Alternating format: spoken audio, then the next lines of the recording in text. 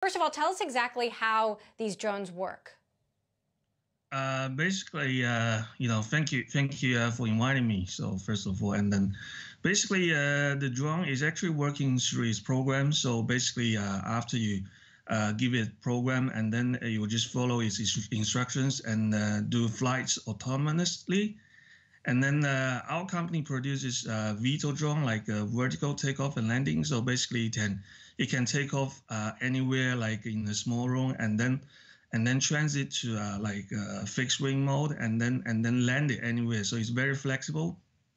So uh, basically, that's that's how it works in terms of that. And then obviously to uh, fight with uh, uh, coronavirus and then to, to help the government to do the quarantine. And then we actually contribute quite a lot in terms of various aspects, which I can I can detailedly describe in later later terms. Yeah.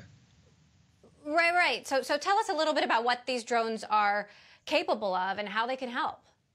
Uh, okay, so uh, firstly, uh, you know, we uh, we we can be equipped with uh, you know like uh, optical zoom camera, which can identify people congregation more efficiently. So especially in a, a large city area. So, for example, like you know, usually the the government they don't have enough human resources to cover the ground. So basically, they, they, they choose to use the drone technology. And with the VTOL fixed wing technology, it's easier to deploy and take off and then monitor the major roads and the public spaces uh, very quickly. And then uh, if they uh, spot uh, any, uh, you know, uh, sort of congregation of people for so many people getting around with each other, then they can alert the, the staff on the ground and then they can take sort of actions or, or, they take off measures to inform Uh, the public that not to be uh, you know congregated or, or getting together. So this is uh, you know one one one aspect, and then the other is that the drone can use the loudspeaker to replace the using of like the you normally driving police cars around us.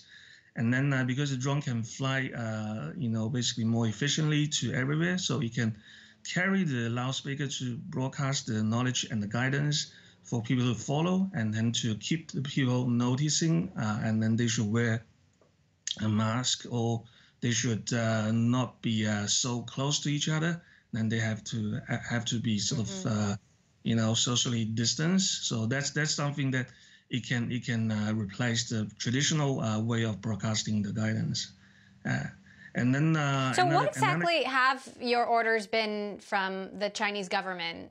And are these drones in operation in other countries?